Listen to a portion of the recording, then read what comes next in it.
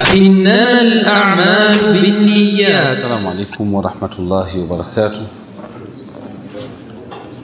الحمد لله والصلاة والسلام على رسول الله وعلى آله وصحبه وسلم. اللهم علمنا ما ينفعنا وانفعنا بما علمتنا وزدنا علما يا رب العالمين. Allah subhanahu wa ta'ala sala na salamu zimwendee kipenzi wetu na mwalimu wetu Muhammadu alayhi salatu wassalam tunaingia kwenye hadithi ya 40 hadithi iliyopokelewa na kusimuliwa na mama yetu Aisha radhiyallahu ta'ala anhu Allah babul haiz an Aisha radhiyallahu ta'ala anha wadhaha, kutokana na upokezi wa Aisha radhiyallahu ta'ala anha wadhaha, Allah muiradhi mama yetu, anna Fatimata, asimlia ya kwamba Fatima binta Abi Hubeish, binti wa Abi Hubeish sa'alat an-nabiy sallallahu alayhi wasallam alimuuliza mtume alayhi salatu wasalam faqalat katika kumuuliza kwake yeye akasema aliyesema nani Fatimatu bintu Hubeishi akasema inni ustahadhu fala athuru mimi napatwa na hedhi muda wote. Na ukitaka kujua ni muda wote ni pale alipoongeza neno lake kule mbele fala athuru. Napata na hedhi muda wote na sitahariki. Au unaweza ukasema inni ustahadhu fala athuru. Mimi hupatwa na istihadha. Eh istihadha. Sio hivi. Mimi napatwa na istihadha. Muda wote. Kwa kupatwa na istihadha fala athuru sitahariki. Sio hivi hapa anakusudia istihadha. Na neno lenyewe alilotumia alitumia neno zuri sana ambalo linakwenda na majibu ya mtume alayhi salatu wasalam ni kama walikuwa wanajua wale masahaba wa kike istihadha ni nini na hedhi ni nini lakini walikuwa hawajui hukumu ya istihadha ni ipi na hukumu ya hedhi ni ipi. Ndio maana alichanganya maneno kwenye maneno yake. Inni ustahadhu mimi napatwa na istihadha. Eh fala athuru. Kwa kupata na istihadha ya muda mrefu mimi sitahariki. Ina maana walikuwa wanajua istihadha ni ipi na hedhi ni ipi lakini hawajui hukumu ya hedhi ni ipi na hukumu ya istihadha ni ipi. Naeleweka vizuri? Ehe. Afa sala sasa kwa hali hii mimi unaniruhusu niache swala? Ni swali kabisa. Wanasema wanazuoni hapa as-salatu al-maqsudatu as-salatu al-faridha je swala za faradhi zote niziache? Swala dhuhuri niache swala asri niache swala magharibi niache isha niache. Swala za faradhi zote niziache? Kwa sababu mimi kila wakati nafanyaje? Kuna damu inatoka hiyo. Faqal kwa swali hilo mtume alayhi salatu wasalamu akasema la. Nini maana yake? La hapana. La tadai salata. Ndio maana yake. Hapana. Usiache swala. Sala faradhi hizo usiache. Endelea kuswali hizo swala. Inna dhalika irqun hakika hilo lilokupata ni irqu. Na irqu wanasema wanazuoni ni neno ambalo linatafsiriwa kwa maneno mengi. Inna dhalika irqun ay fasadun. Kuna ubovu ndani humo. Inna dhalika irqun. Maana yake irqu maradun humo ndani kuna nini? Kuna maradhi yaliyopelekea ikawa hiyo damu inafanyaje? Inatoka. Na sio ile damu ya kawaida. Ndiyo maana yake inna dhalika madha? Irqun.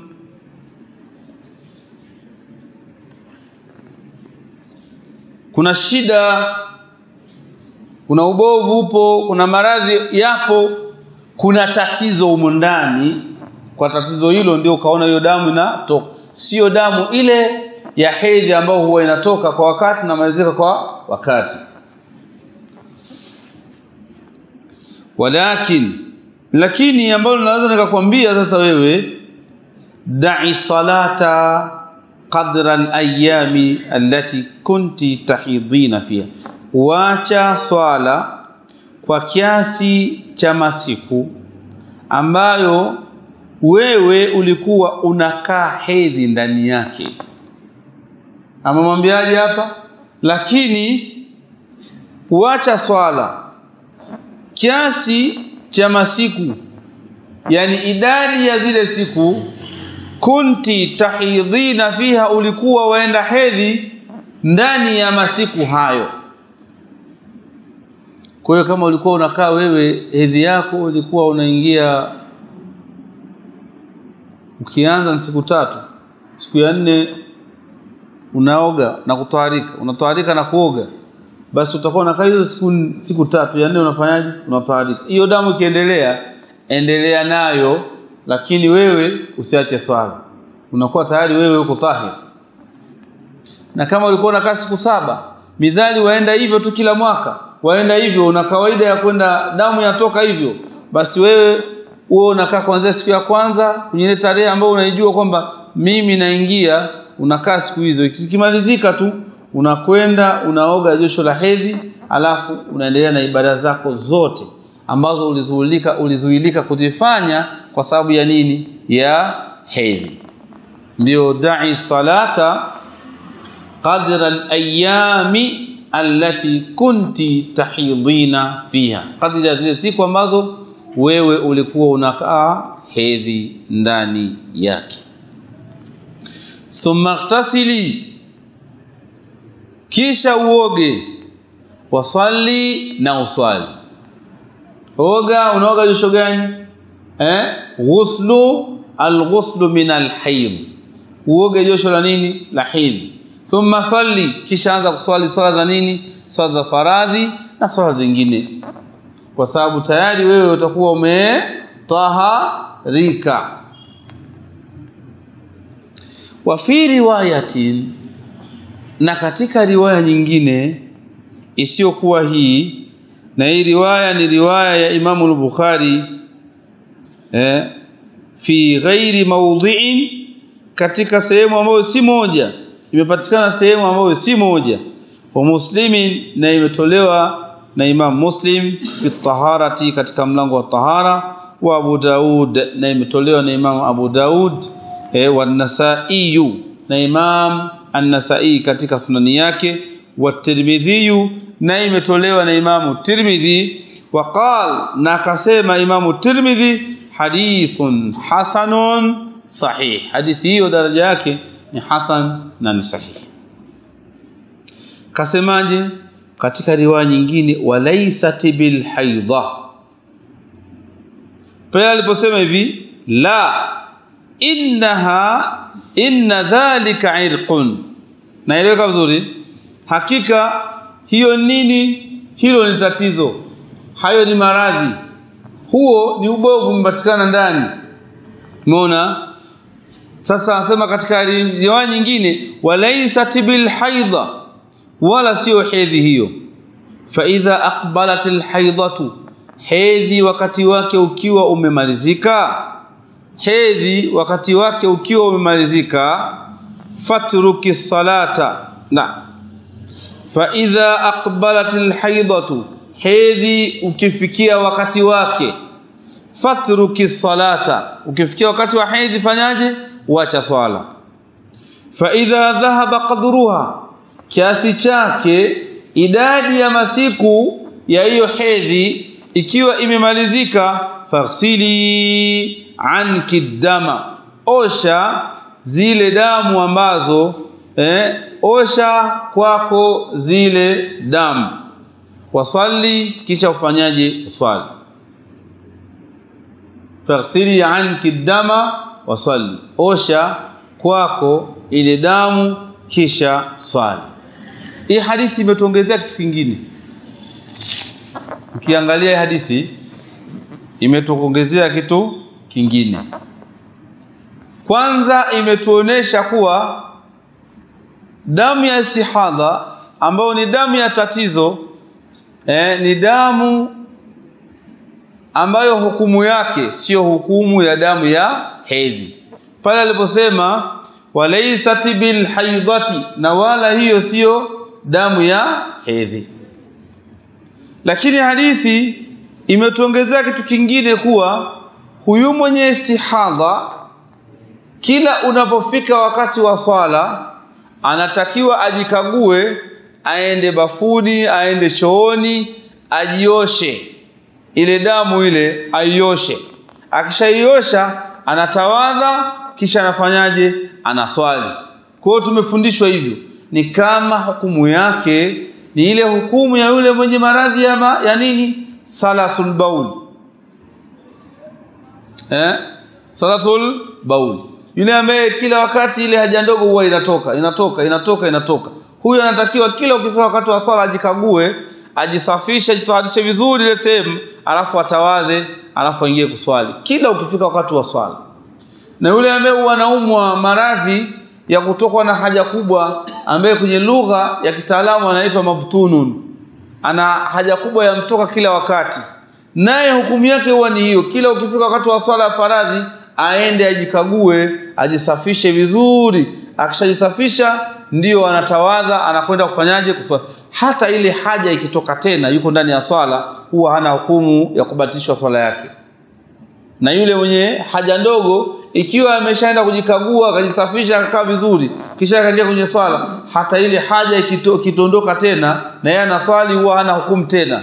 Swala yake inapita kwa sababu yeye ni mutar yuko katika dharura. Sasa na huyu mwenye istihadha anatakiwa aende pale ajikague ajisafishe sehemu yake ya siri kisha anajiweka vizuri anaingia kwenye swala. Ile damu ikitoka na yuko ndani ya swala swala yake nini? Ni sahihi kwa sababu yeye huyu mwanamke ni mutarra, yupo katika dharura. Tumeelewana vizuri? Kwa hiyo hadithi hii imekuja imeunga na mkono na ile hadithi ya mwanzo lakini ikatuongezea kitu. Haya. Kwa hivi tunataka tuseme hapa kitu. Kwanza hii hadithi inakuja kutubainishia taarifu listihadha taarifu kuijua istihadha nini? Nataka kutueleza hapo. Lakini utasoma katika hii hadithi tofauti ya istihadha na hedhi.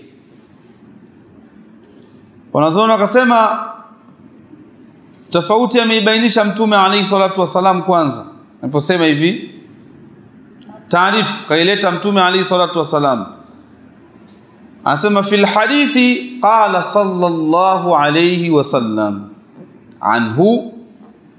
Katika hadithi mtume alayhi salatu wasalam kazungumzia kuhusiana na na taarifu hiyo na definition hiyo inna dhalika irqun hiyo damu inakutoka wewe ni damu ya tatizo ni damu ya maradhi ni damu ya ubovu.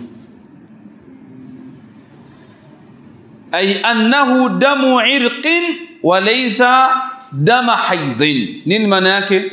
Hiyo damu ni damu ya shida damu ya tatizo damu ya maradhi na wala sio damu ya hedhi sasa ukipata hiyo unaweza kumjua mustahidha. Nini? Nani mustahidha? Ambaye anaingia katika hedhi nani? Unaweza kumjua hapo. Ndio wanazoona wakasema almustahadhatu. Eh, man hiya almustahadha? Mwenye kuingia mwenye kuingia kwenye istihadha nani? Eh man hiya almustahadha anaingia katika istihadha nani? Wanazuoni akasema almustahadhatu hiya allati taraddama min qubliha fi zamanin la yu'tabaru min alhayd wan nifas anaingia katika damu ya istihadha mgonjwa wa maradhi ya istihadha hiya allati taraddama ni yule mwanamke ambaye anaiona damu ikitoka min qubuliha yatoka sehemu yake ya siri ya mbele fi zamanin kwenye wakati na muda la yu'tabaru. Inatoka kwenye wakati na muda ambao haizingatiwi hiyo damu minal haidhi kuwa ni damu ya hedhi wala nifasi na wala haizingatiwi hiyo damu kuwa ni damu ya nifasi. Hii damu inatoka nje ya ule wakati wa hedhi na inatoka kwenye wakati ambao ni nje ya damu ya uzazi. Damu ya namna hii hiyo ndio inaitwa damu istihadha. Sawa? Na yule mwenye maradhi ya namna hiyo ndiyo anaitwa mraatun mustahadhatun. Mwanamke ambaye ana shida ya kutokwa na damu ya tatizo. Kwa sababu ile nyingine sio ya tatizo ile ni ya uzima. Au sio hivyo? Tukimkuta sisi dada wa miaka 25 haingii hedhi kabisa.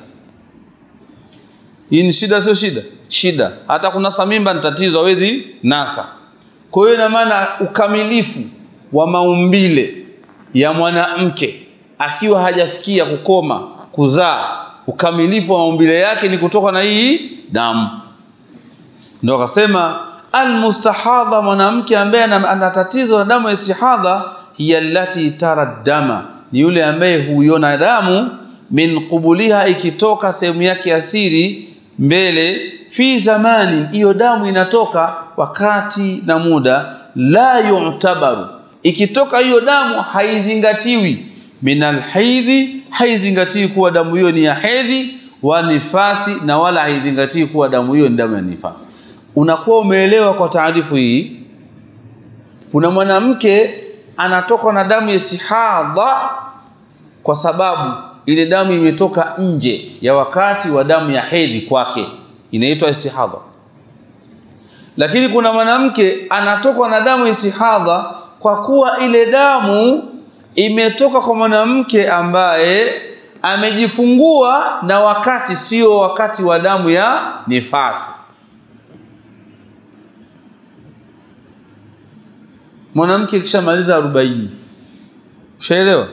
40 imeshamalizika siku 40 kaingia mpaka mwezi wa pili ana siku sitini. Damu inaendelea kutoka ile. Hiyo damu sio damu ya nini? Istihadha sio sio damu ya nifasi. Ni damu ya nini hiyo?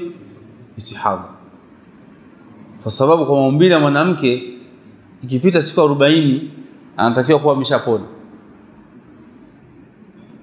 isipokuwa madhhabu Shafi wao wameikadiria damu ya nifas huwa inaenda mpaka siku sitini yani miezi miwili. Ambao madhehebu mengine hawaoni hivyo. Wanaona kwamba kiwango cha juu cha kuendelea kutoka damu ya nifas ni siku 40 na kiwango cha chini ambacho anaweza mwanamke kuwa amefikia ukomo kwake wa kutoka damu ya nifasi ni siku 15 kwa hiyo mwanamke inawezekana akataharika na damu ya nifasi kwa muda wa siku kumi na ngapi? Na tano. Anakoma kabisa. Yaani imekaa siku ya kwanza baada ya wiki anaanza kuona dalili za kuanza kutaharika. Siku kumi anaanza kuona dalili za kuanza kutoharika, huwa aona alama zao. Siku 13 siku 14 anaona dalili za kutoharika, kuna, nam, kuna alama anaziona. Akijiangalia anajikagua anaona tayari nishakuwa vizuri. Siku kumi na tano zikimalizika kumi na sita anatwarika ana, anaoga josho la nifasi. Na ibada zote ambazo alikuwa hawezi kuzi, kuzifanya kwa sababu ya kuwa yeye imeingia kwenye nifasi anaruhusiwa kuanza kuzifanya ikiwemo ya kwanza nini? Swala. Sasa baadhi ya wanazuoni wakasema bana muda mrefu. Wa damu ya nini? Ya nifasi. Ni siku ngapi? Ni siku arobaini na chache ni siku ngapi? Kumi na tano sasa huyu mwanamke ukiwa umefikia ule muda ambao ni mrefu wa kuendelea kutoka damu ya nini? Ya nifasi damu ile isikatike. Aa inahama katika hukumu. Inakuwa sio damu ya nini? Ya nifasi inakuwa ni damu ya istihadha. Na nini maana damu ya istihadha? Ni damu ya tatizo. Sasa damu ya tatizo inabeba hukumu nyingine. Naeleweka vizuri? Haya twende mbele. Alfarq baina alhaidhi wan nifasi. Tofauti kati ya damu ya hedhi na nifasi wanazoa wanasema damu alhaidhi damu ya hedhi yatamayazu an dami listihadhati biarba'ati ashya. Damu ya nifa damu ya hedhi inapambanuka inatofautiana na damu ya istihadha kwa mambo manne. Mambo manne yanatofautisha kati ya damu ya nifas e damu ya hedhi na damu ya nini? Ya istihama mambo mangapi? Manne. Jambo la kwanza unaweza kujua hii ni damu ya hedhi kwa mwanamke. Anaweza akajua hii ni damu ya hedhi biraihatihi kwa rehe yake kwa harufu. Damu ya hedhi ina harufu ya kukera. Inanuka damu ya nini? Damu ya hedhi. Na ndio maana akina mama huwa wanaji wako makini sana. Anapokuwa katika hali yake huwa hapendi. Wewe ujue kinachotoka kwake huwa hapendi. Kwa sababu kile kinachotoka huwa kina harufu. Na huwa wanahusiwa kabisa. Jitahidi sana mume wako asijue kibaya kutoka kwako. Katika hivyo huwa ni hilo. Mmeelewa vizuri? Kwa sababu akikuonesha ukakijua huenda akakosa mvuto kwako. Nini sifa yake ya kwanza? Ni ile harufu yake huwa harufu yake ni mbaya na kali. Tofauti ya pili unaijua bilaunihi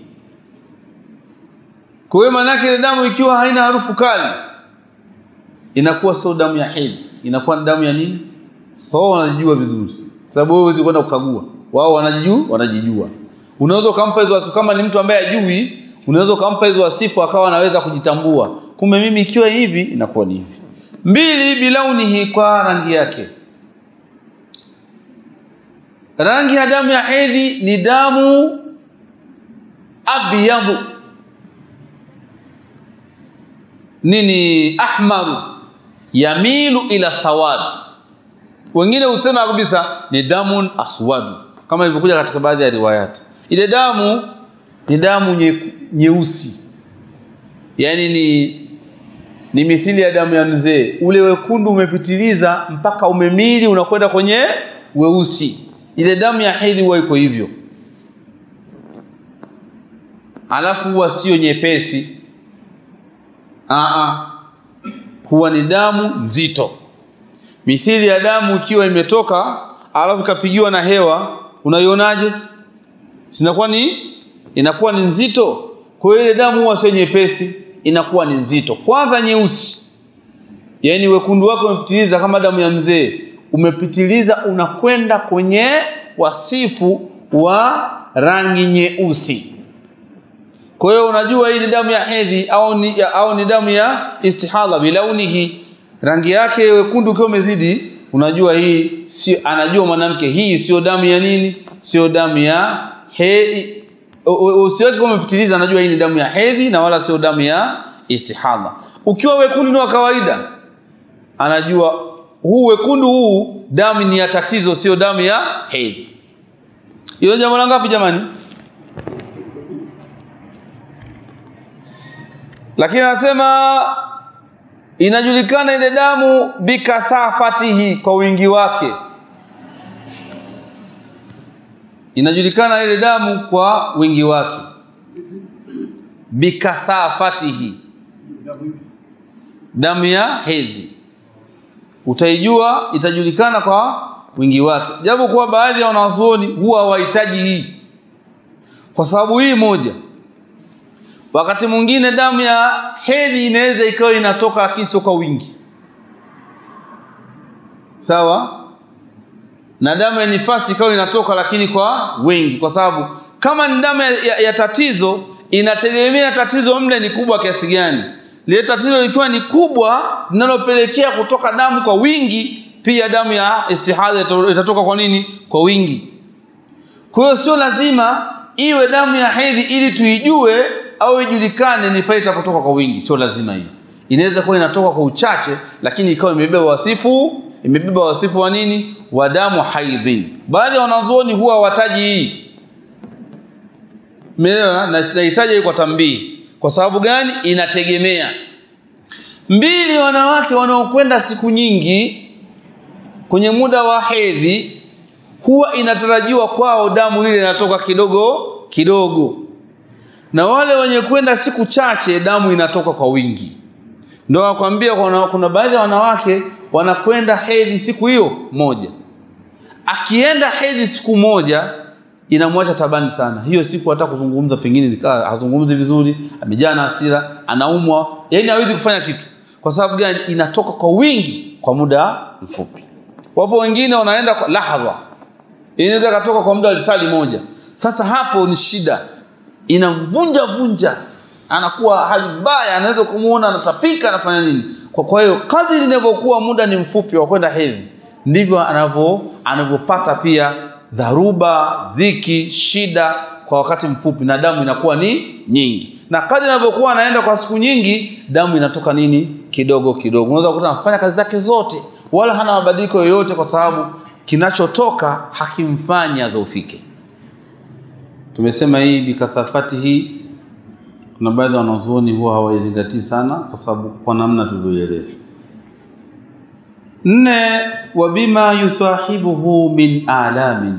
Inajulikana kuwa hii ni damu ya hedhi na sio damu ya nifasi kwa yale maumivu ambayo anayapata mwanamke akiwa katika damu ya hedhi.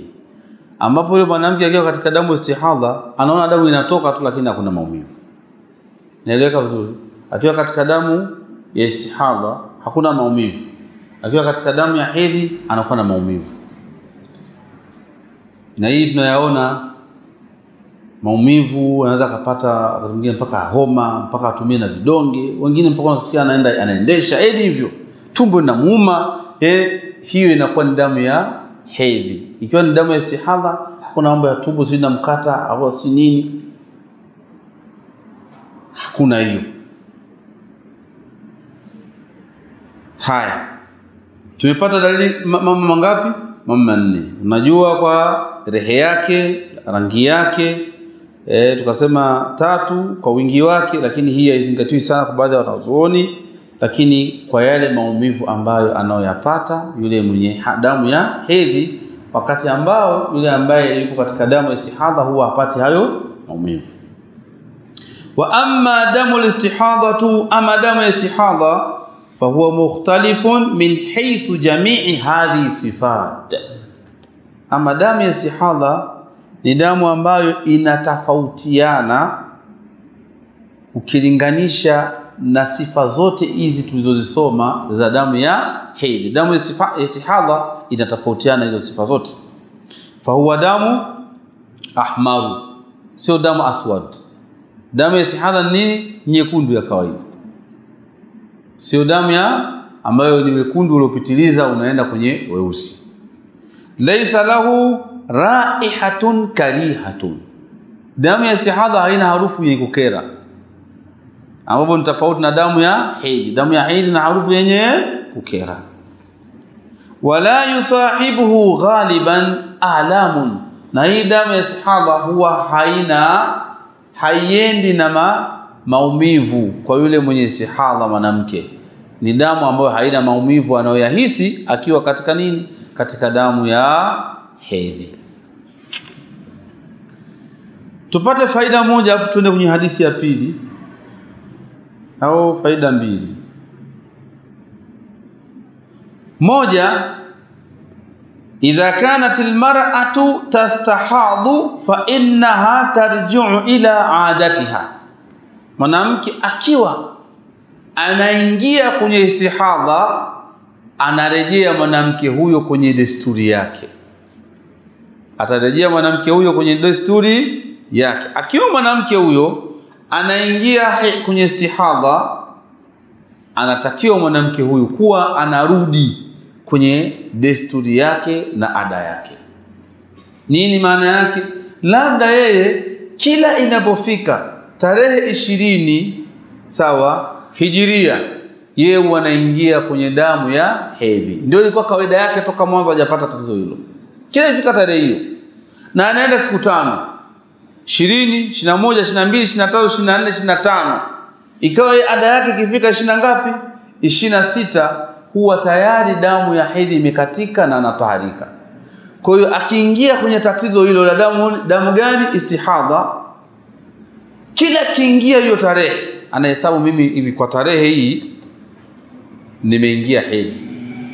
Ina maana hapo kutakuwa unatoka damu ya tatizo na damu ya hedhi inafanyaje? Na toka ikifika tarehe 25 sawa 26 anataharika. Anaoga na anaanza kufanya ibada yake kama kawaida. Ndiyo maana yake mwanamke ambaye anaingia kwenye istihadha atarejea kwenye desturi yake. Mmeelewa hapo vizuri? Faida ya pili la yajibu ala almustahadhati an taghtasila likulli salatin. Si wajibu mwanamke ambaye anaingia katika istihadha kuoga kila wakati wa sala si wajibu wa in warada dhalika an ba'dhi sahabiyati hata kama imepokelewa hiyo kwa baadhi ya masahaba wa kike kuwa walikuwa wanaoga kwa kuwa wapo katika istihadha kila wakati. Kila ukiingia wakati wa sana naoga anasema fa huwa ijtihadun minhum. Hiyo ilikuwa ni ijtihada kwao. Lakini sio jambo ambalo limepita kwenye sheria na kulazimisha kuwa mwanamke ambaye ana istihadha lazima afanyeje lazima aoge kila wakati wa swala. Na faida ya ngapi ya tatu na ya mwisho? Almustahadhatu tusalli wa tasumu. Mwanamke ambaye ameingia kwenye damu ya istihadha ana shida hiyo yeye anafunga na funga yake inapita na yeye anaswali na swala yake inapita. Kwa sababu ile damu inayotoka inazingatiwa kama mtu mwenye jeraha kwenye sehemu katika kiwiliwili chake mtu akiwa na jeraha haswali anaswali mtu akiwa na jeraha hafungi anafungi. kwa hiyo hata huyu anazingatiwa kuwa hukumu yake ni hukumu ya Muislamu mwenye jeraha atatakiwa kuswali kila wakati unapofika na atatakiwa kufunga ikiwa ni Ramadhani. Si ndivyo tunavyofahamu? Basi na hukumu yake itakuwa ni hiyo. Wakaongeza wanazuoni watahillu lizaujiha. Na huyu mwanamke pamoja na kwa damu inatoka hii ni halali kwa mume wake. Kwa hiyo mume wake anaweza kwenda kufanya naye tendo la ndoa na yupo katika hali hiyo ya istihadha kwa sababu hii siyo damu ya hedhi ambayo ni haramu yeye mwanaume kukutana na mke wake, sio damu ya hedhi. Hii ni damu ya nini? Ni damu ya istihadha. Kwa hiyo mwanamke mwanaume ataangalia tu wakati anapoona kwa kumuuliza pengine hivi sasa vipi imesita? Eh, imesita. Anaitumia anachangamkia fursa. wakati ile dawa imefanyaje? Imesita. Bwana ah hivi sasa bwana inatoka kwa wingi. Kwa hiyo bwana nitanichagua mimi. Anajikagua bwana. Naona toka jana na leo mambo yako vizuri. Anachangamkia fursa. Kwa hiyo watahilu lizaujiha. Ukiacha kusema mimi sifanye neto la ndoa utakuwa unamdhulumu. mbefahamu kwa sababu hili tatizo linaendelea. Hizi ni faida ya tatu ambazo tumeziona. Tusome hadithi kwa kuwa sio ndefu. Na inaoana na hadithi iliyopita.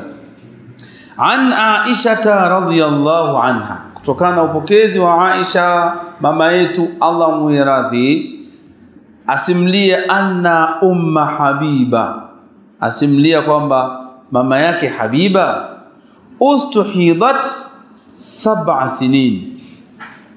Alipatwa na tatizo la kutokwa na nini? Na damu ya istihadha miaka saba. Miaka saba. Fasalat rasulullah sallallahu alayhi wasallam kwa tatizo hilo akawa amemuuliza mtume wa Allah sallallahu alayhi wasallam zimwende andhalika kuhusiana na damu hiyo ya nini ya istihadha ambayo imeendelea kutoka kwa muda wa miaka mingapi? Miaka saba. Fa amaraha an taktasil mtume sallallahu alaihi wasallam akamwamrisha aoge. Akamwamrisha aoge. Fakanat kwa hivyo akawa ummu habiba taktasilu likulli salati alikuwa anaoga kila wakati wa swala. Akamwamrisha aoge. Na akawa anaoga kila wakati wa swala. Fa amaraha an taktasil alimwamrisha aoge. Fakanat akawa huyu mama aoga eh, anaoga. Likulli salatin kwa ajili ya kila swala. Hadithi hii imetolewa na Imamu al-Bukhari akhrajahu al-Bukhari fi kitabi al-Haidh imetolewa hadithi hii na Imam Bukhari katika kitabu cha Haidh wa Muslimin fi tahara. Na Imam Muslim ameitoa katika kitabu cha tahara. Wa Abu Daud wa Nasai Abu Daud kaitoa hadithi hiyo na Imamu Nasai pia kaitoa hadithi hiyo katika sunani zao.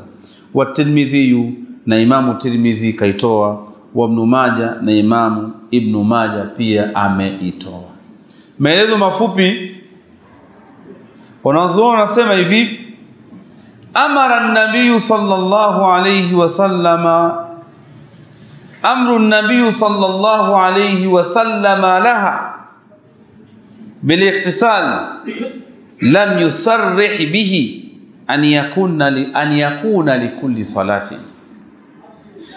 amri ya mtume sallallahu alayhi wasallam kwenye maneno haya yaliyokuja kuwa faamaraha an taghtasil mtume alimwamrisha nani? Umu habiba. Afanyeje aoge fakanati kumbuka hadithi inasimuliwa na nani? Na Aisha. Mtume alimwamrisha yeye aoge kisha ikaja fakanati akawa umu habiba. Na kanati yaonesha hivi lafdhun yufidu listimrara walmuwadhabata wadawam ni neno ambalo linafidisha kuwa umu habiba katika maisha yake akiendelea kufanya hivyo alikuwa anaoga kila nini? Kila wakati wa swala. Sasa wanawazuoni wanasema amru nabii alayhi salatu wassalam laha amri ya mtume kumwamrisha umu habiba aoge eh laha biliktisal alimwamrisha oge lam yusarrih bihi hakuweka wazi. An yakuna likulli salati hakuweka wazi kuwa aoge kila wakati wa nini? Wa swala. Haikumaanisha hivyo. Walidha kwa hivi fa inna jumhura alulamai jopo la wanazuoni la yujibuna ala almustahadati alghusla likulli salatin kwa hiyo ndio utaona jopo la wanazuoni kundi kubwa la wanazuoni halioni kwamba mwanamke huyu ambaye ana istihadha awe anaoga kila wakati wa swala. Kwa nini? Hadithi hii ilivyokuja ni kwamba ummu habiba alienda kwa nani? Kwa mtume. Akamwambia mimi na shida hii ya damu ya, ya nini? Ya istihadha kunitoka kila wakati nina muda sasa. Na wakati anamwambia ilikuwa ni athnaa. Ilikuwa ni athnau sab'i sinin ilikuwa ni kati ya hii miaka. Hapa katikati ndo alienda kwake. Mtume mimi nina shida hii. Wakati anaendelea na hiyo shida. Alipokwenda kumwambia, jambo la kwanza alimwambiaje? Kaoge.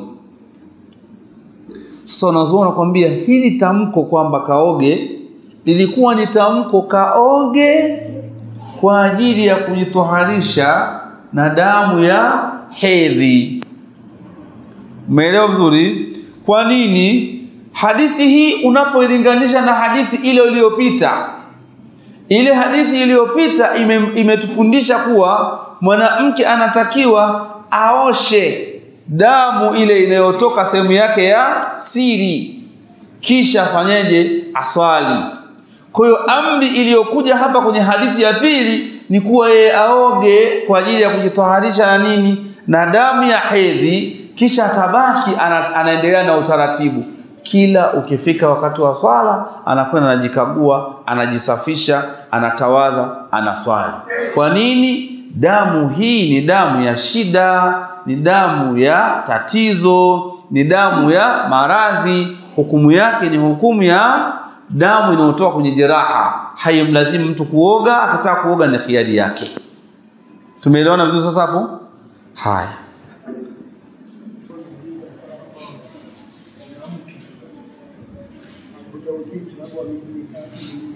Naam.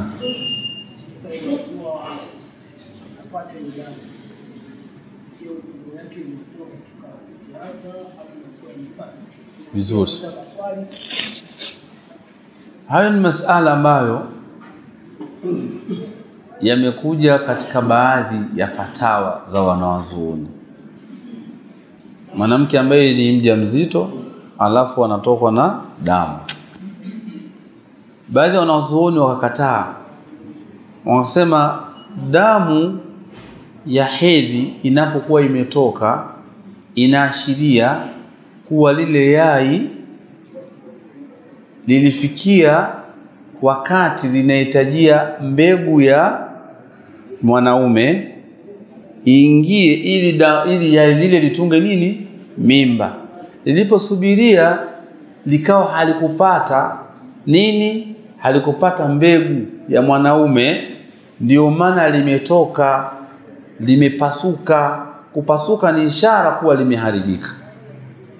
Kwa nini? Kwa sababu lile yai linapokuwa limepata mbegu ya mwanaume likienda kutunga mimba kwenye uterus, kwenye rahimi, huwa ile damu haitoki, kwa sababu damu inapokuwa imetoka ni kwa mwanamke huyu hana ujauzi, hana ujauzito. Akitunga mimba damu inakata. Kwa nini inakata? Ile damu huwa ndio badala, inakwenda kuwa chakula cha mtoto. Si mnanielewa? Inakwenda kuwa chakula cha mtoto yaani wewe unakula mle ndani, Allah ndio anayejua. Ile damu ikikata inatunzwa, inakuwa ni chakula cha mtoto. Mnanipata vizuri? Kwa hiyo maana yake huyu mwanamke anapoingia katika, anapokuwa ni mjamzito hawezi kutokwa na damu ya. Lakini baadhi ya fatawa za wanazuoni wanasema ile damu inayotoka ikibeba wasifu wa damu ya hedhi kama tulivyosoma zile alama au sifa tatu za damu ya nini ya hedhi, itakuwa ni damu ya hedhi. Umeelewa vizuri? Itakuwa ni damu ya hedhi, na ikiwa iko nje ya wasifu wa damu ya hedhi, itakuwa ni damu istihadha. Hatoacha swala, ataendelea kuswali na ataingia kwenye utaratibu wa mwanamke ambaye yupo katika shida ya damu istihadha. Kwa nini? Kwa sababu kitaalamu wanasema kwamba wako wanawake, lakini mmoja mmoja sana katika ulimwengu huwa wanaendelea kutoka na damu ya hedhi hata wakiwa na ujauzito. Yaani kitaalamu iko hivyo, ndio maana wanasema kumbe sasa ikikaguliwa ile damu ikakutwa kuwa ni damu imebeba sifa ya hedhi, itakuwa ni damu ya nini? Ya hedhi. Ikiwa haijabeba sifa hizo, itakuwa ni damu istihadha. Na hiyo ndio naona ni fatwa ambayo imesimama. Na umenielewa ndugu yangu? Ehe,